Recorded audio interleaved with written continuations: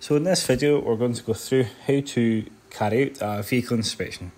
So you just go to audit, go down to the orange button at the bottom right corner,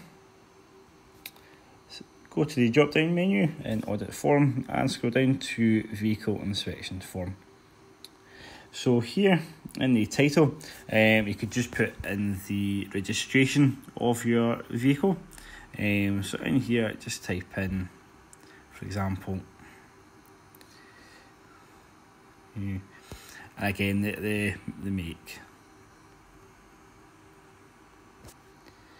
Again, you just go down to branch, so say let's go Brook Street.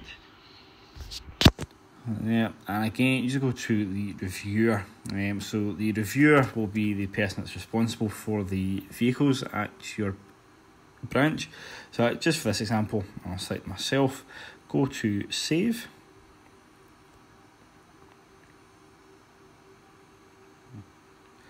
And now you now go to form at the top here and just go down to the drop down menu for the daily vehicle inspection checklist.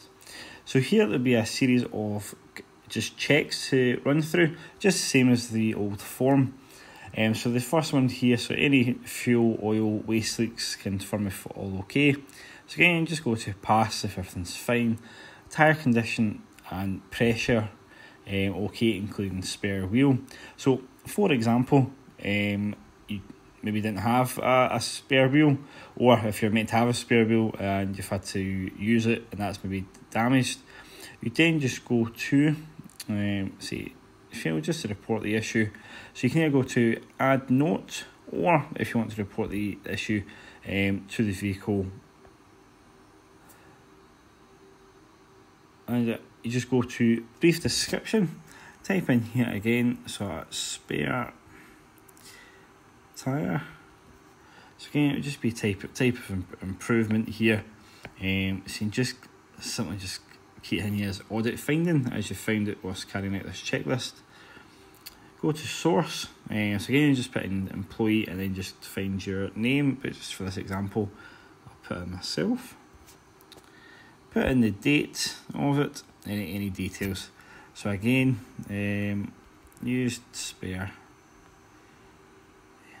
tyre um, and is now damaged, just as an example.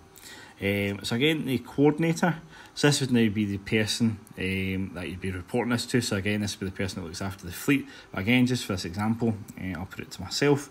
And again, you can just add a photo um, of the possibly the damage to, to the spare tyre. And again, just hit save. So this will now raise an, an improvement number, and this will now go to that the person that looks after the vehicles dashboard on their computer. Um, so again, you just go back going back to the form. You just um, go back through this. So again, wheel con wheel con wheel condition. Sorry. Again, just go to pass and so on and, and so forth um, as you go down. So again, just click through this again then at the bottom, once you've selected everything, done the vehicle inspection, you just go to save at the bottom here. And again, just go to the three purple dots at the top right. Click this and go to sign off. And this now completes this inspection. And finally, just one last reminder um, if you do swap the van, or if you use another van throughout the week, or even throughout a shift, um, you do need to complete this form um, again um, for that vehicle, uh, as you are you would be responsible for for that vehicle. As always, thanks very much for watching this video. If you'd like to keep up to date with everything that we're doing at Ferrier Pumps, follow us on our social uh, medias. And once again, thanks very much for watching.